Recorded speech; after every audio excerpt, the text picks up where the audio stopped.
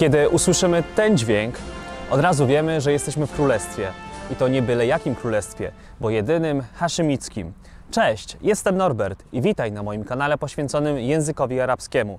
Wracamy dzisiaj do krajów Bilad al-Sham, czyli krajów Lewantu, a konkretnie do Al-Mamlaka al-Urduniya al-Hashimiyya, czyli Jordania. W pełnej nazwie tego kraju od razu możemy dostrzec to słowo haszymickie. O co chodzi? Haszymici, czyli Banu Hashim, to arystokratyczny ród arabski, wywodzący się z plemienia Kurajszytów, a obejmujący przodków Hashima ibn Abdel Manafa, czyli pradziadka proroka Mahometa. I tak też obecny król Jordanii, Abdullah II, e, który został koronowany w 1999 roku, pochodzi właśnie z tej dynastii i ma być potomkiem samego proroka Mahometa w 41 lub w 42 pokoleniu, w zależności od źródeł. Haszymici są u władzy od 1921 roku, kiedy to Abdullah I został królem Transjordanii. Jednak został on zamordowany. Następnie przez rok rządził król Talal, ale ze względu na jego stan zdrowia, władza w 1953 roku została oficjalnie powierzona królowi Husseinowi, który rządził aż do 1999 roku, kiedy to zmarł na zawał serca. Bardzo ciekawą osobą jest również aktualna królowa Rania.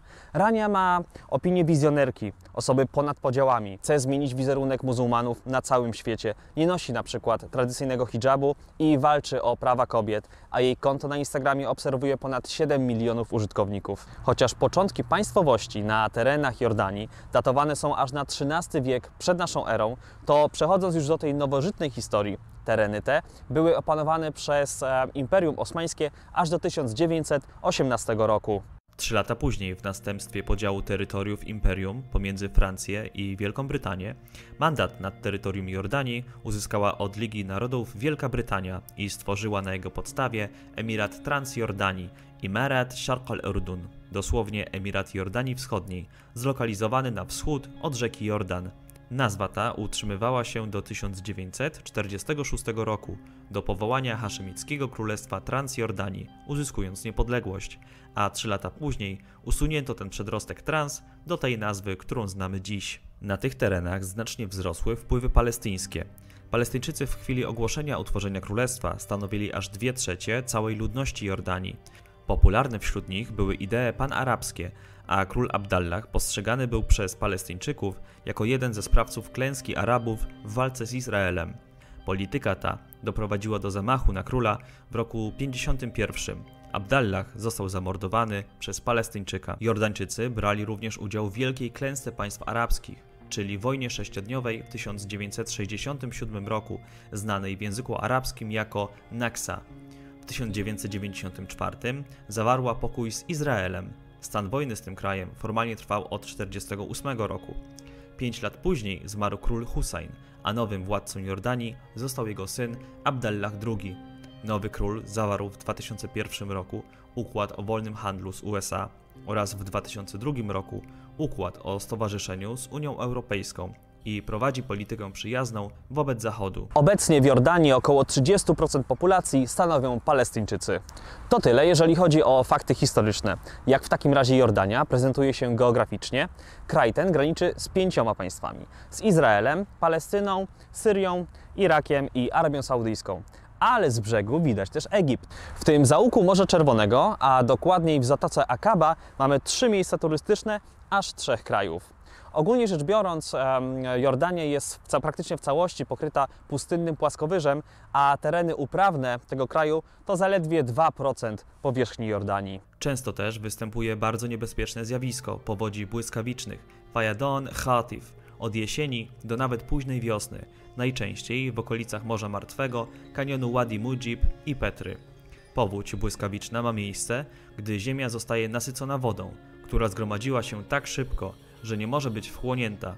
Woda zbiera się i szybko spływa dalej w dół stoku, nagle wzbierającą falą. Nie można oczywiście tutaj zapominać o Morzu Martwym, do którego z Jordanii jest bardzo dobry dostęp, na przykład wypożyczonym samochodem. Morze Martwe, po arabsku Al-Bahr al-Mayt, to tak naprawdę bardzo, bardzo słone, bezodpływowe jezioro. e, którego poziom soli jest tak duży, że pozwala unosić nam się na, e, na powierzchni wody bez zbędnych ruchów. Położone jest w najniższej depresji na świecie, co sprawia tym samym, że punkt ten jest najniżej położonym punktem na całej Ziemi, a lustro wody aktualnie znajduje się około 430 metrów pod poziomem morza i sukcesywnie się obniża. Jordania jest jednym z najbardziej otwartych arabskich krajów na świecie, szczególnie dla turystów, na przykład tych z Polski, przez tanie bilety lotnicze, ale przyciąga również filmowców. Na przykład w marsjańskim klimacie Wadi Rum, doliny leżącej wśród granitowych i zbudowanych z piaskowca skał. Takie filmy jak Marsjanin, Gwiezdne Wojny czy Lorenz z Arabii zostały właśnie nakręcone w tej lokalizacji. Nie można oczywiście zapomnieć tu o Petrze, ruinach miasta Nabatejczyków, którego rozkwit miał miejsce w czasach antycznych, od III wieku przed naszą erą do I wieku naszej ery. Mieście wykutym w skale, kompleksie grobowców, świątyń, teatrów i wodociągów nabatejskich, z najsłynniejszym, tzw. skarbcem faraona, El-Hezna, wykutym z różowego piaskowca, budowli o fasadzie na wysokość ponad 40 metrów, a występującej na przykład w filmie Indiana Jones Ostatnia Krucjata. Jest to też jeden z nowych siedmiu cudów świata, Ajaib ad-Dunya as-Sab'a al-Jadida.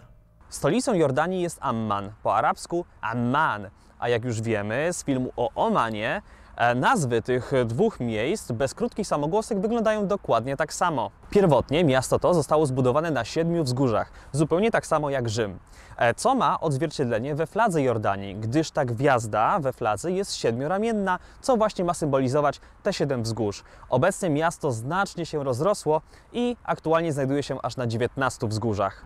Uważane jest za jedno z najstarszych, ciągle zamieszkanych miast na świecie, które miało zostać zasiedlone około 8-7 tysięcy lat przed naszą erą. W Jordanii religią dominującą jest oczywiście islam. Natomiast w kraju tym znajduje się też szereg miejsc historycznie związanych z chrześcijaństwem. W Jordanii mamy ponad 60 miejsc wzmiankowych w Biblii. Najważniejszym wydaje się być miejsce chrztu Jezusa w rzece Jordan, po arabsku Ma'amudiyat Yusua, co miało mieć miejsce w Al-Mahtas, obecnie archeologicznym stanowisku w Jordanii, gdzie znajdziemy również wiele pozostałości kościołów upamiętniających to miejsce. A z góry Nebo biblijny Mojżesz miał zobaczyć ziemię obiecaną. Każdy kraj ma jakiś sport narodowy. I tak w kontekście Jordanii możemy powiedzieć, że są to sporty walki.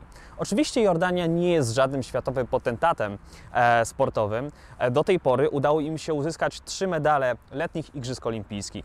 Natomiast w 2016 roku na Olimpiadzie w Rio de Janeiro udało im się zdobyć ten krążek z najcenniejszego kruszcu, czyli złoty medal, który został zdobyty przez e, zawodnika taekwondo Ahmada Abu Ghaush. Róż został prawdziwym bohaterem narodowym i po raz pierwszy, do tej pory jedyny, świat mógł usłyszeć hymn Jordanii właśnie na letnich Igrzyskach Olimpijskich.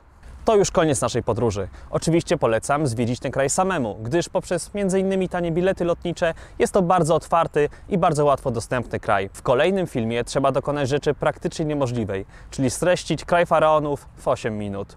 Do zobaczenia. Mas salama!